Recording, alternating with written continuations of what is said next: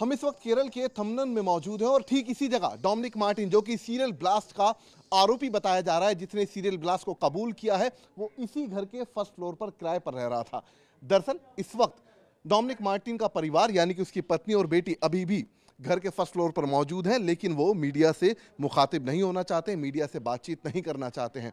जो मकान मालिक हैं, उनके मुताबिक सुबह तकरीबन साढ़े पाँच बजे डोमिनिक मार्टिन रविवार को अपनी स्कूटी पर सवार होकर यहाँ से निकला था। हालाँकि उसकी पत्नी ने ये भी पूछा कि कहाँ जा रहे हैं, लेकिन डोमिनिक मार्टिन ने कोई स्पष्ट जवाब नहीं दिया था। उसके बाद वो सीधा कन्वेंशन सेंटर पहुँचा जहाँ पर इस ब्लास्ट को अंजाम दिया गया और उसके बाद फेसबुक पर इस बात को उसने कबूल भी किया। मैं चाहूँगा कैमरामैन चेतन से आपको तस्वीरें दिखाएँ। ये देखिए, ये वो फ़र्स्ट फ्लोर का रूम है, ये वो पूरा फ्लोर है जहाँ पर डोमिनिक मार्टिन पिछले साढ़े पाँच साल से रह रहा था। परिवार अभी भी अंदर मौजूद है, लेकिन परिवार कोई भी बातचीत मीडिया से इस पूरे सिलसिले में नहीं करना चाहता है।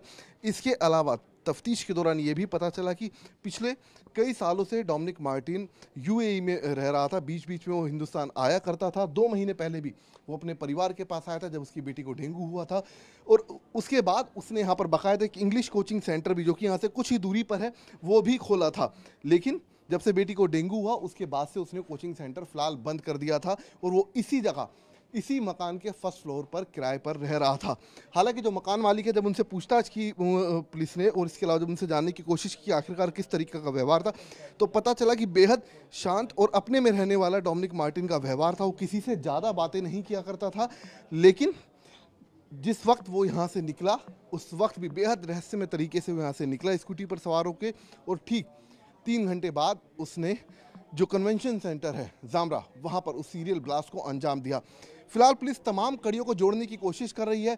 केरल पुलिस कल इस घर पर पहुँची, जहाँ से डोमिनिक मार्टिन का पासपोर्ट जब्त किया गया। कुछ कागजात जो कि उसकी विदेशी दौरे से जुड़े हुए थे, वो भी यहाँ से जब्त किए गए।